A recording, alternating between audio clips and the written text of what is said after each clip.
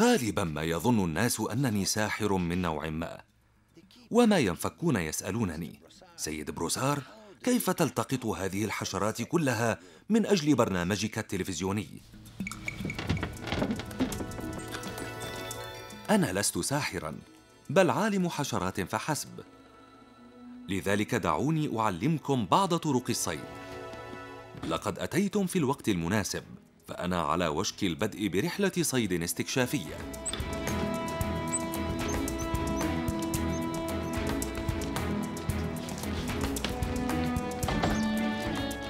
يصعب علي أن أغادر وطني وأسرتي لكنني لا أندم على ترك الشتاء الكندي من أجل أشعة الشمس الاستوائية في مدغشقر.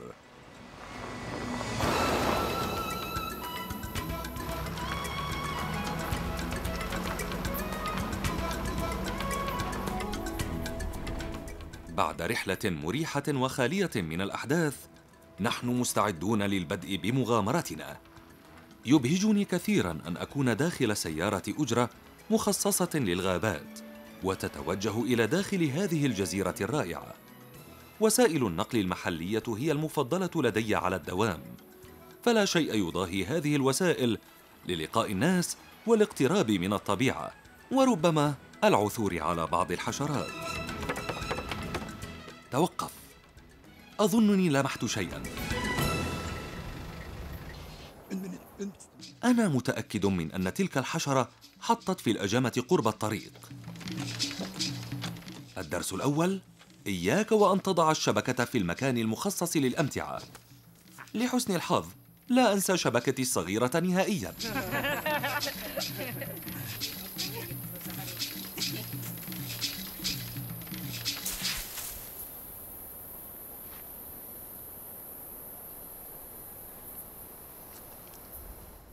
علينا اولا القيام بهذه الرحلة الاستكشافية التي لن تكون الأخيرة. فغدا صباحا سنتوجه إلى غابة مطيرة استوائية شاسعة وفي حوزتنا شبكة مناسبة. معظم غابات مدغشقر الوطنية هي غابات مطيرة استوائية وعذراء وهي تحمي عددا كبيرا من النباتات والحشرات الفريدة.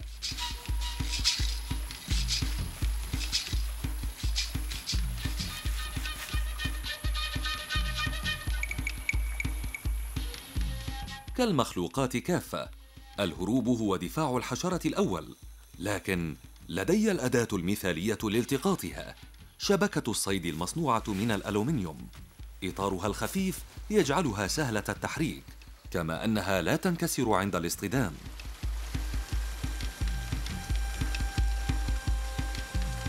وهي كبيرة كفاية لالتقاط الحشرات لكنها ليست عميقة أكثر من المطلوب. لذا يمكنني إخراج جائزتي منها بسهولة. أتظنون أنه عمل سهل؟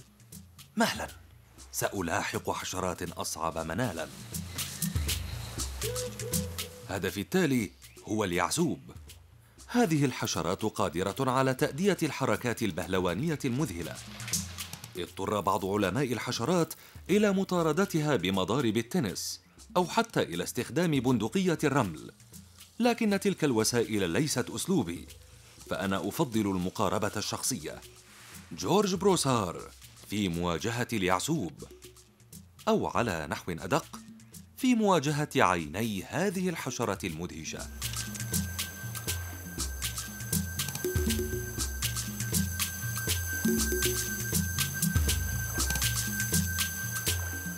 هذا أمر لا يفاجئ. تتألف عينا اليعسوب من عشرين ألف منظار متناهي الصغر وهي متراصة معا. كل عين منها مرتبطة مباشرة بالدماغ وتطلق جرس الإنذار لدى اكتشاف أدنى حركة.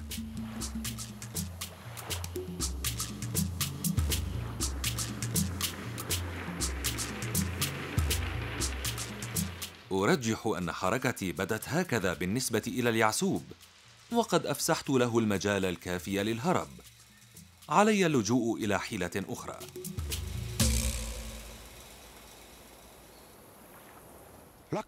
لحسن الحظ اليعسوب حشرة متمسكة بمنطقتها وتعود على الدوام إليها لذا سننتظر.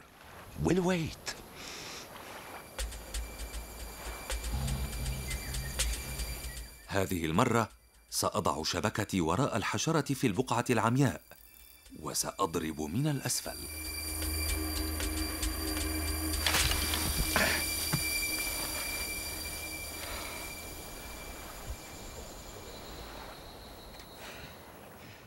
هذه هي الطريقة الوحيدة لخداع نظام التحذير المبكر لدى اليعسوب. يا لها من ألوان مدهشة. لكن وقتي المفضل للصيد هو الليل.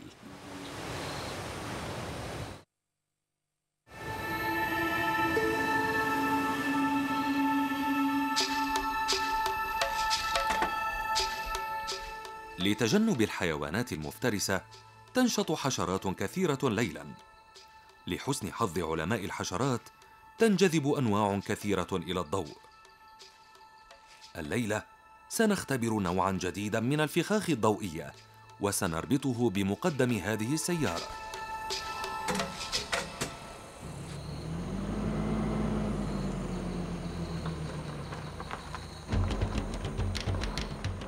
تجذب الأضواء الأمامية حشرات كثيرة. تسحقها السيارة عادة لكن بهذه المصيدة الجيدة يتم التقاط الحشرات برفق وهي تتشبث بالشبكة.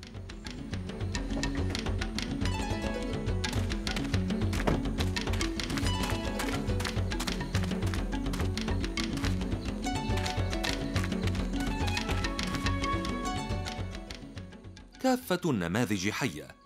سأختار الحشرات التي تهمني وأطلق سراح الأخرى.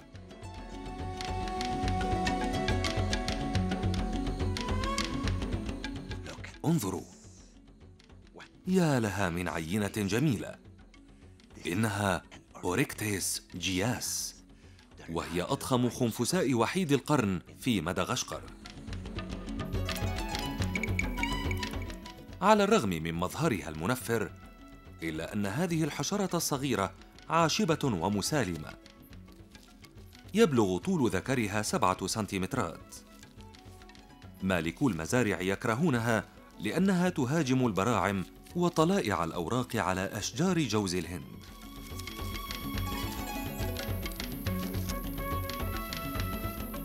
تصل معظم يرقات أنواع الأوريكتس إلى سن البلوغ في مواد نباتية متفسخة. هذه الخنافس أيضا بمثابة وليمة مميزة للسكان المحليين الذين يعتقدون أن من يأكل هذه الخنافس يكبر ويصبح بقوتها.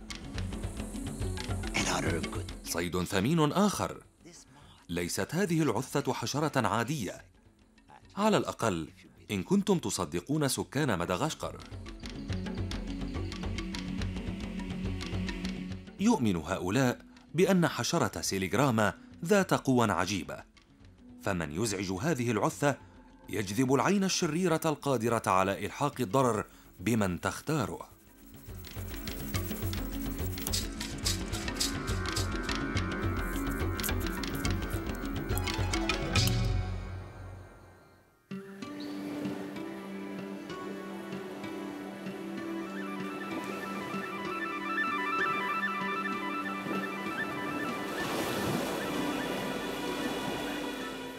هو النهار يبزغ من جديد. أعرف أنني لم أعد متاثرا بالعين الشريرة لأنني متأكد من وجود خنافس رائعه تستدفئ في أشعة الشمس في ذرى تلك الأشجار. من المستحيل بلوغها بشبكتي لكنني أعرف كيف يجب أن أتصرف. ابقي مكانك أيتها الخنافس الصغيرة. أنا قادم لأنال منك.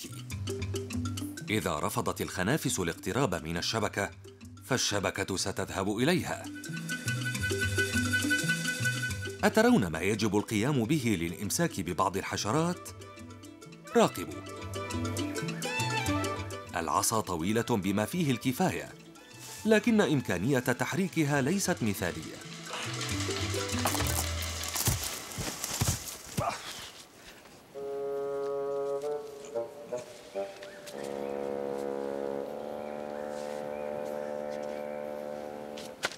لم تنتهي محاولاتي بعد.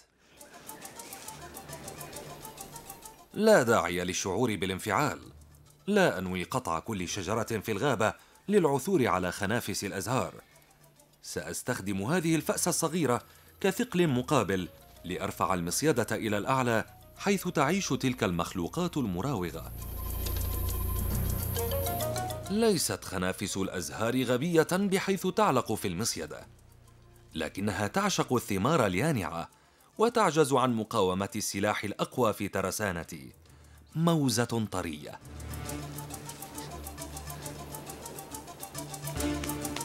المصيده في مكانها وسنعود فيما بعد. أجدت رائحة الموزة اليانعة نفعا. لكنني أريد أن أريكم شيئا آخر أو بالأحرى شخصا آخر. أعظم صياد حشرات في مدغشقر.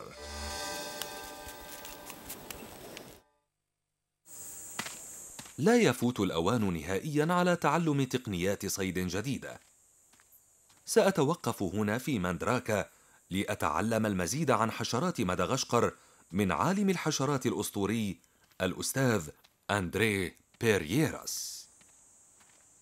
أهلا سيد بيرييراس أهلا وسهلا سيد بروسار. سعدت بلقائك يا صديقي. كنت في انتظارك. وأنا متشوق للقياك.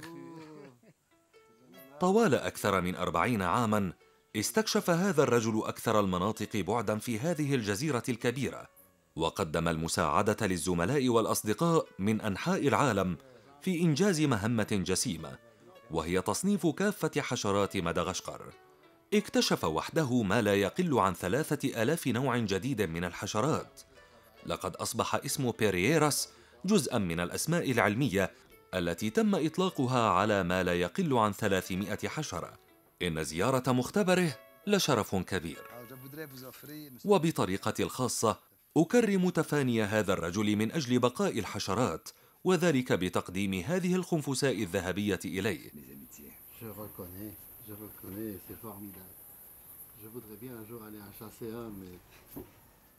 ثمة عرف سائد بين علماء الحشرات وهو تبادل النماذج عند اللقاء. بالمقابل حضر السيد بيريير صندوقا من أجلي وكان من دواعي سروري البالغ أنه يحتوي بعضا من أجمل نماذج الخنافس الدرر الموجودة في مدغشقر. لا شك في أن السيد بيرييرس هو الأفضل عالميا على صعيد صيد هذه الخنافس. فقد اكتشف بمفرده ما لا يقل عن سبعمائة نوع جديد. لكن الأكثر إذهالا هو تقنيته المبتكرة التي أتقنها لصيد هذه المخلوقات المدهشة. إنه يعمل بمساعدة آلة قتل عالية التخصص وهي من إنتاج عالم الحشرات حصرا. ها قد وجدنا أخيرا مخبأ هذا الصياد الذي لا يعرف الرحمة. إنه الدبور المتوحد. يشرح السيد بيرييرس الطريقة يتخذ الدبور وكرا له على الأرض. يجمع ضحاياه صباحا أما عصرا أو مساء فيصنع حجيرة يضع فيها الغنيمة. يضع بيضة ويتابع الحفر لبناء المزيد من الحجيرات. نجد ثلاث حجيرات أو اربعا وهي متسلسلة. يهاجم الدبور خنفساء. يمسك بها بفكيه لكنها تبدي رد فعل ضعيفا لأنها على يقين من أن زبان الدبور لن تخترق قشرتها السميكة. لكن في درع الخنفساء فلعا يلتقي عنده الرأس والصدر وهي البقعة التي تخترق فيها زبان الدبور قشرة ضحيته وتدمر جهازها العصبي. يطير الدبور حاملا الحشرة المشلولة ووزنها ضعفا وزنه. عندما يصل الدبور إلى وكره يضع بيضة مباشرة على ضحيته. عندما تفقس اليرقة تتغذى ببطء على لحم هذه الخنفساء. يتخصص كل نوع من الدبابير في نوع واحد من الفرائس. أظننا جئنا إلى المكان المناسب.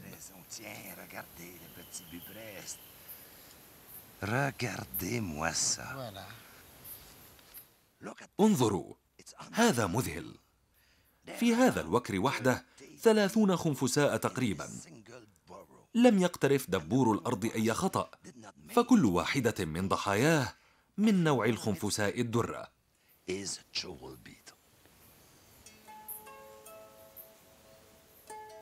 هذا هو سر مجموعة السيد بيرييرس الرائعة. فقد استفاد من مواهب مخلوق يفوقه براعة. الدبور الذي يعشش على الأرض. يؤسفني أن أودع عالم الحشرات الموهوب هذا لكن في انتظارنا مفاجآت أخرى جنوب هذه الجزيرة.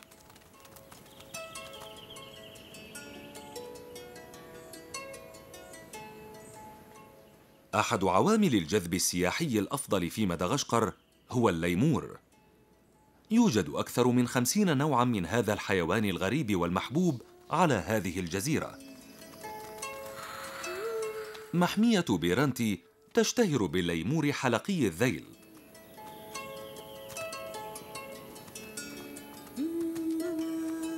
لكنني لا أبحث عن الليمور بل أبحث عن حشرات تنجذب إليه.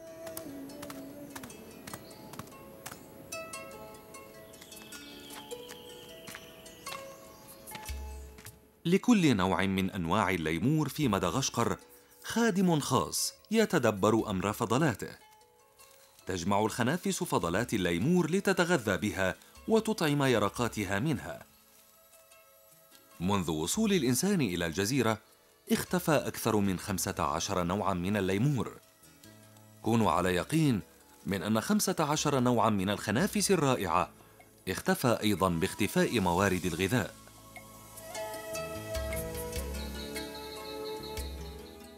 لم ينتهي ما في جعبتي بعد. فهناك حشرة رائعة أخرى سأريكم إياها.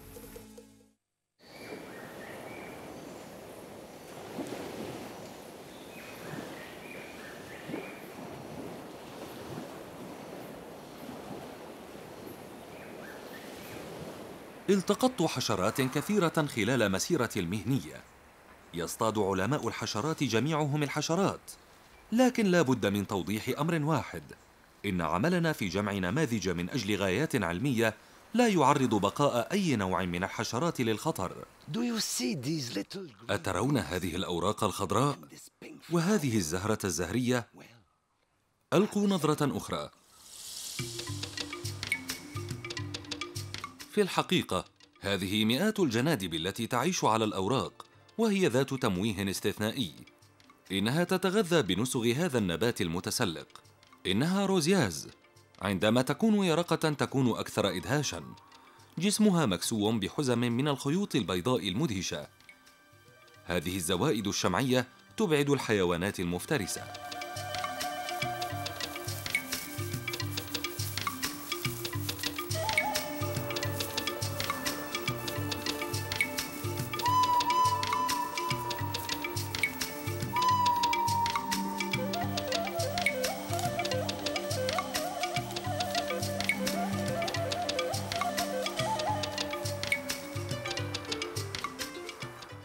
يتحول لونها إلى الأخضر عندما تصل سن البلوغ ثم إلى الزهري. يمكن العثور عليها دائما في مستعمرات ضخمة. إذا أخذت منها واحدة أو اثنتين فلن أضر باحتمالات بقاء هذا النوع. لكن إذا دمرت غابتها اختفت النباتات المتسلقة التي تعيش عليها هذه الحشرات. ولن نرى هذه المخلوقات الجميلة من جديد. بقاء الحشرات لا يهدده علماء الحشرات بل المئات والآلاف من الكيلومترات المربعة من الغابات التي تحرق سنويا لتحويلها إلى اراض للرعي أو لزرع محصول واحد. ترفض الخادمات في هذه المحمية دخول غرفتي وأنا أعرف السبب. احقا ترون أن غرفتي تبدو كمختبر؟ يسرني أنكم جئتم للزيارة كي أريكم آلية عمل علماء الحشرات. يجب تزويد كل عينة ببطاقة تحمل التاريخ وموقع الصيد. هذه المعلومات أساسية من أجل تقدم علم الحشرات. يتم تغليف النماذج الهشة بحذر كالفراشات.